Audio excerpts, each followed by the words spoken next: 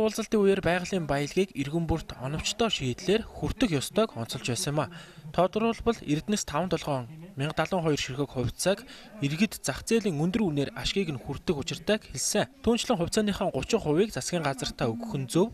Өөрөөр хэлбэл хятадуудад зарснаас илүү өгөөчтэй гэдгийг онцлоод байна. Энэ нь үндэсрэг үзлийг харуулж байгаа үйлдэлч түүний хийсэн хамгийн том дэвшил бол шонхор шувууг хайрлан хамгаалах, байгалийн нөөцийг иргэн бүр хүртэх, мөн ноён уул зэрэг эртний түүхэн дурсгалт газруудаа хайрлан хамгаалах ёстойг сануултгаараа онцлогтой.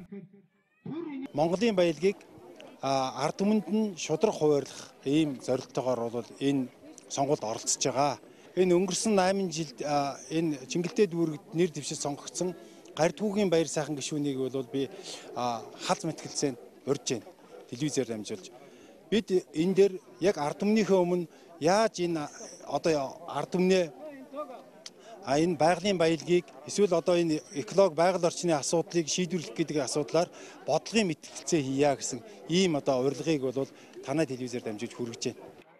Шингэлтэй дүүргийн 8 дугаар хорооны иргэдийн хувьд нэр дэвшигч Батболдоос олон зүйлийн талаар асууж лавдаж байсан. Тодорхойлбол тухайн хороо одоо хүртэл сургууль цэцэрлэггүй байгааг учирлаж энэ асуудлыг шийдэх боломжийг лавлан асууж байсан юм а. Тэгээ өнөөдөр би одоо нэр дэвшигчийн юунд ирж сууж зориуд одоо би үгийг сонсч мөрийн хөтөлбөрөнд уншсан хүний хувьд бол надад бол их монголоо гэсэн сэтгэлтэй бас жирийн ард түмний дундаас гарсан ийм хүн шиг санагдаад би бүр үгийг сонсох гэж ирсэн юм аа.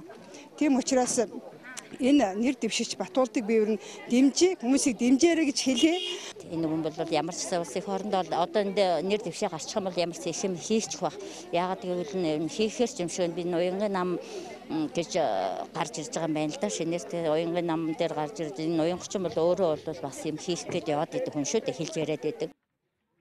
Улс төрд шинэ хүчин, шинэ үзэл санаа шингэх ёстойг иргэд энэ үеэр хэлж байгаа нь өнгөрсөн хугацаанд эрх баригчид бодиттой ажил хийгээгүйг харуулж байгаамаа. Нэр дэвшигч Жамсрангийн Батболд намынхан мөрийн хөтөлбөрийг танилцуулж цаашид иргэн бүрийг байнгын хөдөлмөр эрхлэх боломжоор нь хангана гэлээ. Энэ нь иргэдийн амжиргаанд бодитоор нөлөөлөх үндэс суурна гэж үзсэн байна.